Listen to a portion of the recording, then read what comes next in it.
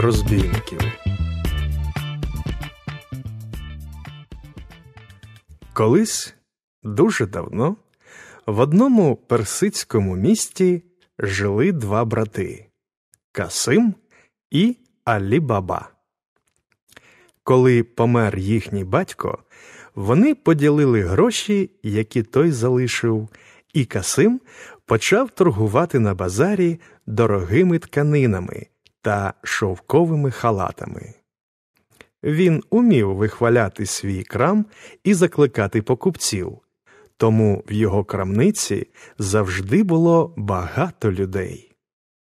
Касим ставав дедалі заможніший і, коли зібрав чимало грошей, одружився з дочкою головного судді, яку звали Фатіма.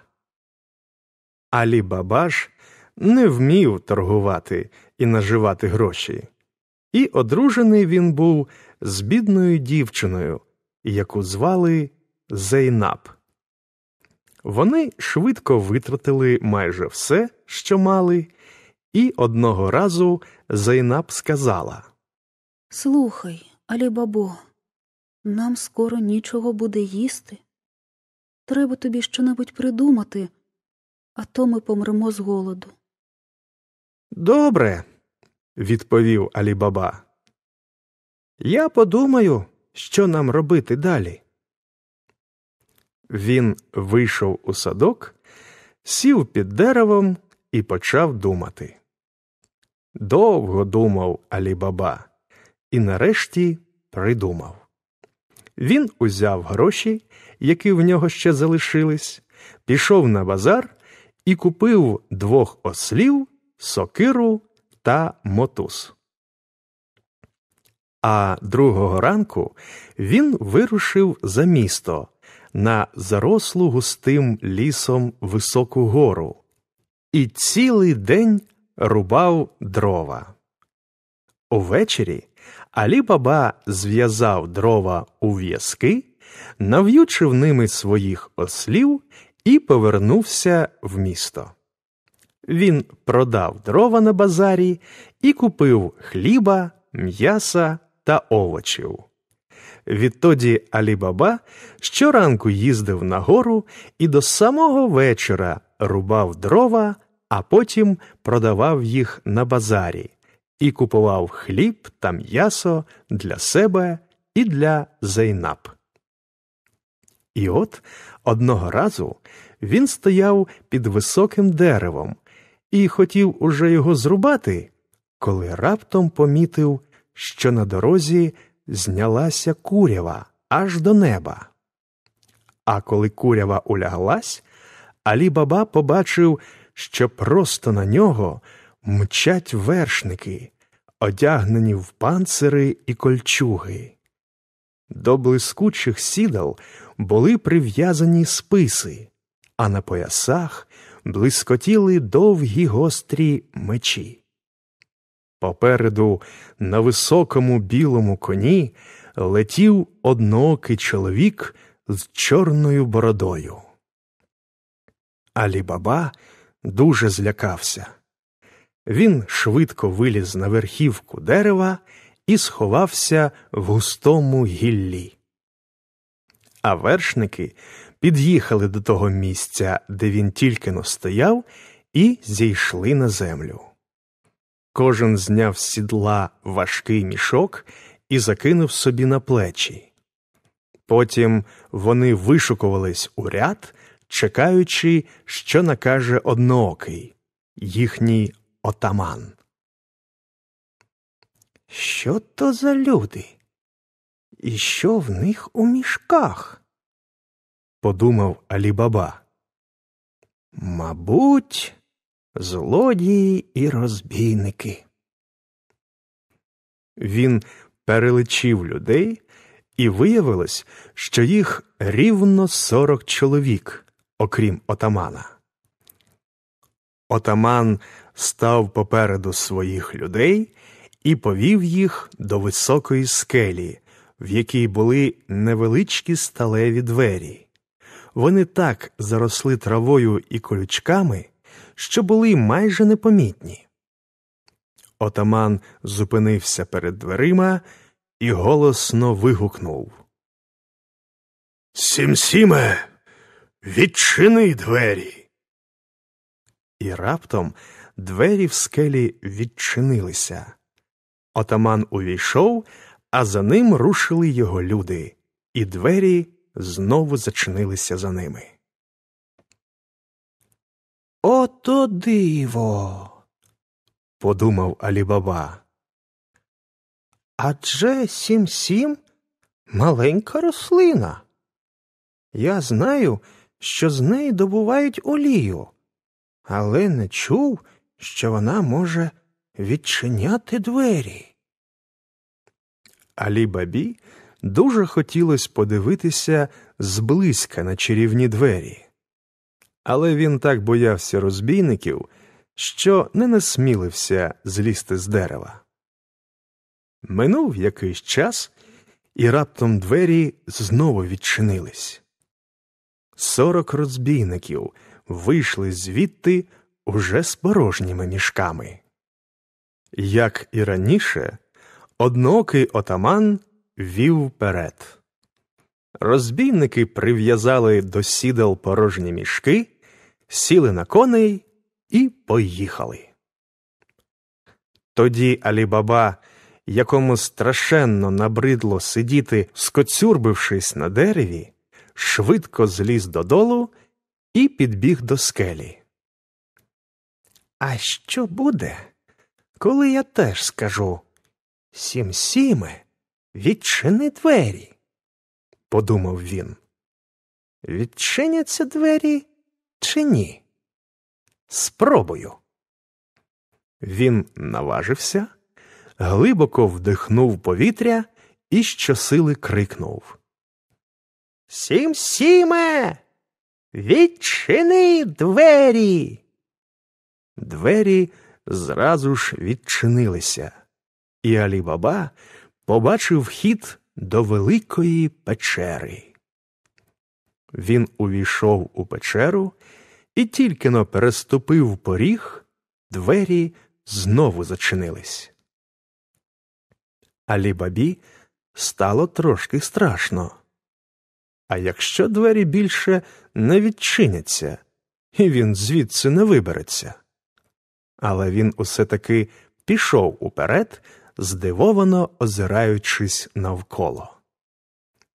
Скоро він опинився у великій кімнаті. Попід стінами там стояла безліч столиків, заставлених золотими блюдами під срібними покришками. Алі Баба відчув смачний запах їжі і згадав, що зранку нічого не їв. Він підійшов до одного столика, зняв покришки з блюд, і в нього аж слина покотилася. На блюдах лежали всякі страви, яких тільки можна забажати смажені кури, рисовий плов, млинці з варенням, халва, яблука і ще багато багато всяких смачних наїдків. Алі Баба схопив курку і в одну мить ум'яв її. Потім узявся до плову, а, кінчивши з ним, схопив цілу жменю халви. Але вже так наївся, що не зміг проковтнути ані шматочка. Відпочивши трохи, він обдивився кругом і побачив вхід у другу кімнату. Алі Баба війшов туди і зажмурив очі. Кімната вся аж сяяла і виблискувала. Так багато було в ній золота і коштовностей. Золоті динари і срібні дирхеми купами лежали просто на землі, мов камінці на морському березі. Дорогий посуд, келихи, таці, блюда, прикрашені коштовними каменями, стояв по всіх кутках. Паки шовку і тканин, китайських, індійських, сирійських, єгипетських лежали серед кімнати. На стінах висіли гострі мечі і довгі списи, яких вистачило б на ціле військо. У Алі Баби розбігались очі, і він не знав, за що йому взятися. То поміряє червоний шовковий халат, то вхопить золоту тацю і видивляється в неї, як у дзеркало, то набере в жменю золотих монет і пересипає їх. Нарешті він трохи заспокоївся і сказав собі Ці гроші і коштовності, мабуть, награбовані, і склали їх сюди розбійники, які щойно тут були. Ці багатства не належать їм, і якщо я візьму собі трішки золота, то це не буде злочин. Адже його тут стільки, що годі й перерахувати. Алі Баба підіткнув поли халата і, ставши навколішки, почав збирати золото. Він знайшов у печері два порожніх мішки, наповнив їх динарами, приволік до дверей і гукнув. Сім-сіме, відчини двері. Двері зараз же відчинилися. Алі Баба вийшов з печери, і двері за ним зачинилися. Колючі кущі і гілки переплелись і сховали печеру від чужих очей. Осли паслись собі на лужку. Алі Баба нав'ючив на них мішки золотом і, прикривши їх зверху хмизом, поїхав додому. Коли він повернувся, вже була ніч, і стурбована Зайнаб чекала його біля воріт. Що ти робив у лісі так довго? спитала вона. Я думала, що тебе розірвали вовки або гієни. А чому ти привіз дрова додому, а не продав їх? Зараз про все дізнайся, Зайнаб, сказав Алі Баба. Допоможи мені знести в дім ці мішки. І не здіймай галасу, щоб нас не почули сусіди. Зайнаб мовчки взяла один мішок на спину, і вони з Алібабою увійшли в дім. Зайнаб щільно зачинила за собою двері, запалила світильник і розв'язала мішок. Побачивши золото, вона зблідла з переляку і крикнула Що ти наробив, Алібабо? Кого ти пограбував? Не турбуйся, Зайнаб, відповів чоловік. Я нікого не пограбував. І зараз розповім, що зі мною сьогодні сталося. Він розповів їй про розбійників та дивну печеру і, закінчивши, додав Гляди, Зайнаб, сховай золото і не кажи про нього нікому. А то ще люди подумають, що ми справді кого-небудь пограбували і донесуть на нас султанові. Тоді він відбере все золото і кине нас у підземелля. Давай викопаємо яму і сховаємо там золото. Вони вийшли в сад, викопали до місяця яму, склали туди все золото, а потім закидали яму землею. Закінчивши це діло, Алі Баба ліг спати. Зайнаб також лягла, але вона ще довго переверталася з боку на бік і думала. Скільки ж золота привіз? Алібаба. Як тільки розвиднеться, я перелічу всі монетки аж до останньої. Ранком, коли Алібаба, як завжди, поїхав нагору, Зайнаб побігла до ями, відкопала її і почала лічити динари.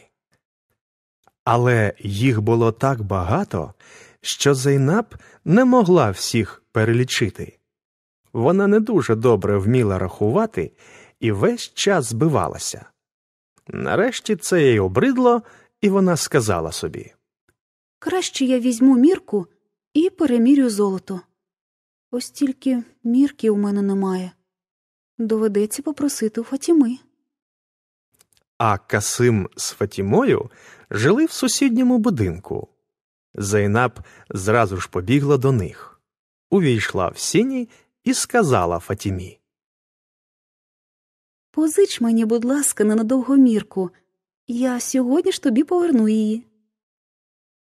Добре, Відповіла Фатіма. але моя мірка у сусідки. Зараз я піду заберу її і дам тобі. Почекай тут, у сінях, у тебе ноги брудні, а я тільки що постелила чисті хідники. Все те Фатіма вигадала. І мірка, якою міряли крупи, висіла на своєму місці, в кухні над вогнищем, і хідників вона не міняла уже десять днів. Насправді, їй просто дуже хотілося дізнатися, навіщо Зайнаб раптом знадобилась мірка. Адже Фатіма добре знала, що в домі Алі-Баби давно вже немає ніяких круп. А питати Зайнаб вона не хотіла. Хай Зайнаб не думає, що Фатіма цікавиться її справами. І вона знайшла спосіб дізнатися про все, не запитуючи. Вона вимастила дно мірки медом, а потім винесла її Зайнаб. Ось візьми, Сказала Фатіма. тільки гляди не розбий. І поверни не пізніше, ніж до заходу сонця. Мені самі треба міряти сочевицю. Спасибі тобі, Фатімо. сказала Зайнаб і побігла додому. Вона вигребла з ями все золото і почала квапливо його міряти, весь час озираючись навкруги. Золота виявилось десять мір і ще півміри. Зайнаб повернула мірку Фатімі і, вклонившись їй до землі, пішла додому. Фатіма зразу ж схопила мірку і заглянула в неї. І раптом побачила, що до дна мірки прилепив якийсь маленький світлий кружечок. Фатіма засунула руку в мірку і вийняла кружечок. То був новенький золотий динар.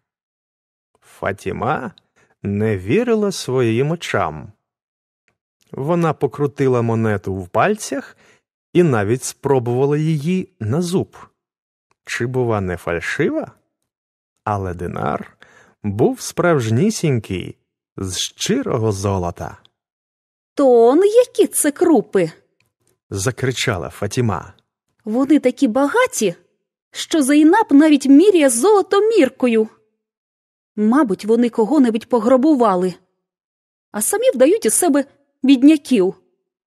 Хоч би скоріше Касим повернувся з крамниці. Я неодмінно все розповім йому. Хай піде до Алібаби і добре не лякай його. Алібаба тоді напевне поділиться з ним. Фатіма цілий день просиділа біля воріт, чекаючи Касима. А коли почало вечоріти, Касим повернувся з крамниці, і Фатіма, не давши йому навіть зняти тюрбана, закричала. Слухай, Касиме, яка у мене новина. Твій брат Алібаба тільки прикидається бідняком, а сам виявляється багатший за нас із тобою. Та що ти вигадала? розгнівався Касим. Багатшого за мене немає нікого на нашій вулиці, ба навіть у всьому кварталі. Недарма ж мене обрали старшиною базару. Ти мені не віриш? Образилась Фатіма. Тоді скажи, як ти лічиш гроші, коли підраховуєш вечорами виторг. «Е, Як усі лічу, відповів Касим. Складаю докупи динари та дирхеми і перераховую. А коли набереться сотня, загинаю палець, щоб не помилитись. Та чого ти такі дурниці питаєш? Ні, не дурниці. закричала Фатіма. Ти от лічиш динари на десятки і сотні, а Зейнаб, дружина твого брата, мірками золота міряє. Ось що вона залишила сьогодні у моїй мірці. І Фатіма показала йому динар, який прилип до дна мірки. Касим оглянув його з усіх боків і сказав Хай мене не називають Касимом, якщо я не дізнаюсь, звідки в Алі Баби взялися гроші. Хитрістю чи силою, але я відберу їх у нього. І він зразу ж пішов до свого брата. Алі щойно повернувся з гори і відпочивав на кам'яній лавці перед будинком. Він дуже зрадів Касимові і сказав Ласкаво прошу, Касиме. Ти не часто буваєш у мене. Що привело тебе до мене сьогодні, та ще в таку пізню пору? Добрий вечір, брате мій, поважно мовив Касим. Мене привела до тебе велика образа. Образа? здивувався Алі Баба. Чим же міг я, бідний дроворуб, образити старшину базару? Ти тепер багатший за мене, сказав Касим. Ти міряєш золото мірками? Ось що моя дружина знайшла на дні мірки, яку вона позичила твоїй дружині Зайнаб. Не обдурюй мене. Я все знаю. Чому ти приховав від мене, що розбагатів? Ти, мабуть, когось пограбував. Алі Баба зрозумів, що Касим довідався про його таємницю і надумав усьому признатися. О, брате мій, сказав він, я зовсім не хотів тебе обдурювати. Я лише тому нічого тобі не розповідав, що боявся злодіїв і розбійників, які можуть тебе вбити. І він розповів Касимові про печеру та про розбійників. Потім подав братові руку і сказав О, брате мій, ми з тобою обидва сини одного батька і однієї матері.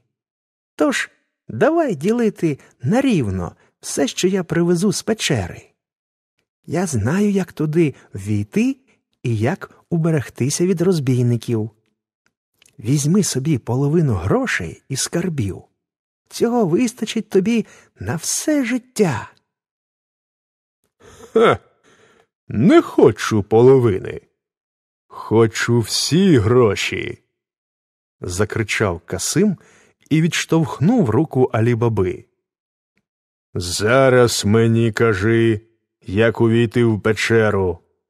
А якщо не скажеш, я донесу султанові, і він звелить відрубати тобі голову. Навіщо ти погрожуєш мені султаном? сказав Алібаба. Поїдь, якщо хочеш, у печеру, але ти все одно не перевезеш усі гроші і скарбів. Навіть якби ти цілий рік возив з печери золото і срібло, не відпочиваючи ні вдень, ні вночі, і тоді ти не перевіз би і половини того, що там є. Він розповів Касимові, як знайти печеру, і наказав йому добре запам'ятати слова Сім сіме, відчини двері. Не забуду, сказав Касим. Сім сім? Сім сім. Це, здається, рослина, подібна до конопель. Буду пам'ятати. Другого ранку Касим осідлав десять мулів, прив'язав до кожного мула по дві великі скрині і вирушив у ліс. Він пустив своїх мулів пастись на узліссі, а сам знайшов двері в скелі, став перед ними і щосили закричав. Ей, сім-сіме, відчини двері. Двері відчинились. Касим увійшов, і двері знову зачинилися за ним.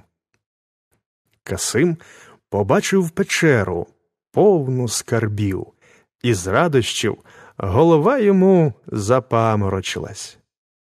Він затанцював на місці, потім кинувся вперед і почав хапати все, що попадалося під руку.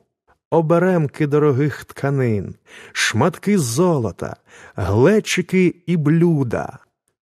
Потім кидав їх і зривав із стін золоті мечі і щити, хапав жменями гроші і пхав їх за пазуху.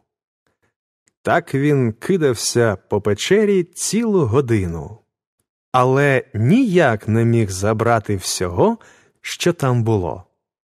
Нарешті він подумав Я маю багато часу. Буду виносити звідси мішок по мішкові, навантажу всіх мулів, а потім прийду ще раз. Я буду їздити сюди кожного дня, аж поки заберу все до останньої монетки. Він схопив мішок з грішми і поволік його до дверей. Двері були замкнені. Касим хотів сказати чарівні слова, які відчиняли двері, аж виявилось, що він їх забув. Він згадав тільки, що треба сказати якусь назву рослини, і вигукнув Гороху, відчини двері. Але двері не відчинялися. Касим трохи злякався. Він подумав і крикнув знову. Пшенице, відчини двері. Двері і не ворухнулись. Касим зі страху вже нічого не міг згадати, і тільки викрикував назви всіх рослин, які знав. Лівсе, відчини двері. Коноплі, відчиніть двері. Ячменю, відчини двері. Але двері не відчинялись. Касим зрозумів, що йому вже ніколи з цієї печери не вибратися.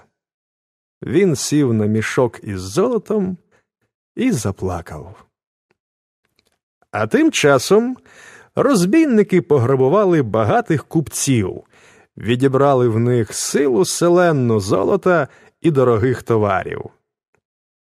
Вони хотіли все сховати в печері. Під'їжджаючи до лісу, отаман помітив на узліссі мулів, які спокійно скубли траву. Що це за мули? сказав отаман. До їхніх сідел прив'язано скрини. Мабуть, хтось дізнався про нашу печеру і хоче нас пограбувати. Він наказав розбійникам не щиняти галасу і, підійшовши до дверей, тихо мовив. Сімсіме, відчини двері. Двері відчинилися, і розбійники побачили Касима, який намагався сховатися за мішком з грішми. Отаман кинувся вперед, замахнувся мечем і відрубав Касимові голову. Розбійники залишили Касимове тіло в печері, а самі переловили мулів і, погнавши їх перед собою, поїхали. А Фатіма цілий день просиділа біля вікна, все чекала, коли з'являться мули з повними скринями золота. Але час минав, а Касима не було. Фатіма чекала день, чекала ніч, а ранком з плачем прибігла до Алібаби. Алібаба сказав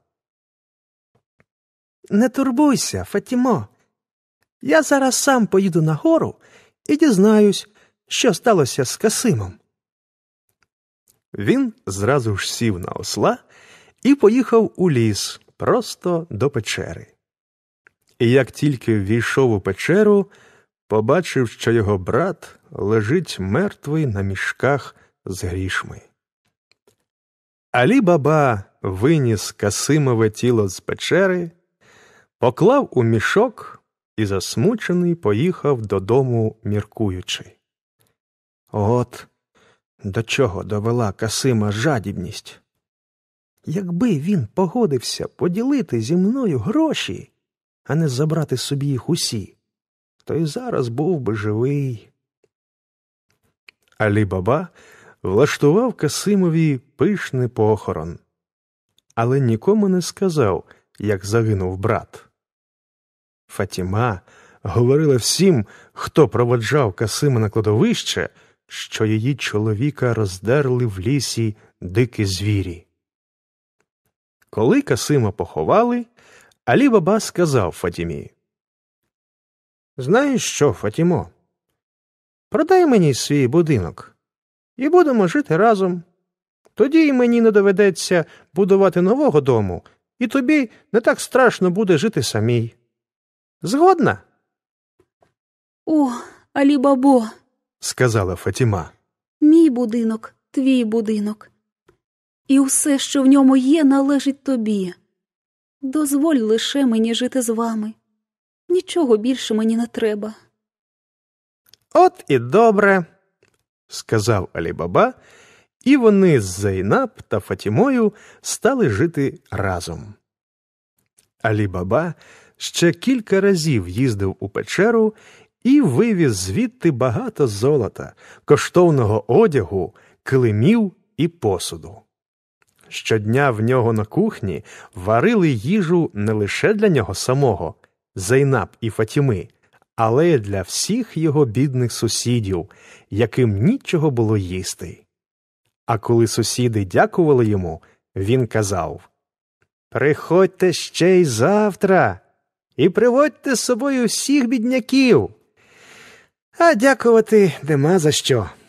Я частую вас на гроші свого брата Касима, якого з'їли на горі вовки.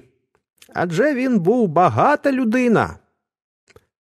Згодом усі бідняки стали приходити до Алібаби обідати і вечеряти, і жителі міста дуже його полюбили. Ось що було з Алібабою, Зайнаб і Фатімою.